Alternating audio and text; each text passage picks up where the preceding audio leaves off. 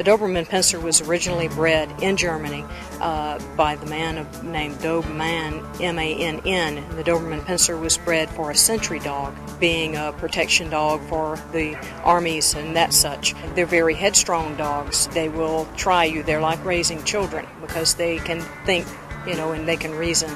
So they're pull a lot of tricks on you. You have to be ready for them. The dogs that we breed and what we strive for in a breeding program is a solid temperament. You don't want a dog that is uh, flighty or uh, too aggressive or, or too timid. You want a good medium of the road dog. That way they can recognize a threat when it's a threat and defend you or your home. And when there's a non threatening situation, they should be friendly and amiable and willing to, you know, allow people to come up and pet them and just be a general part of the family.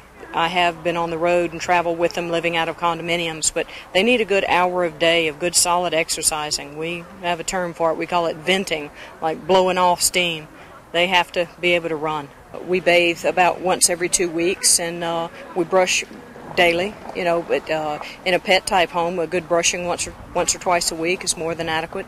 Uh, very easy keepers. We trim their nails back once a week. Uh, you know, so that uh, it never gets out of hand my dogs, unfortunately, are not around children, so they um, they uh, think they're toys, you know, and they might get to playing a little rough with them. So just I would not leave the young child unsupervised unless the dog was raised around the children. The Doberman Pinscher has a life expectancy of somewhere between 10 and 14 years, uh, depending on their, their quality of care and their quality of nutrition and, you know, the, the vitamins and such.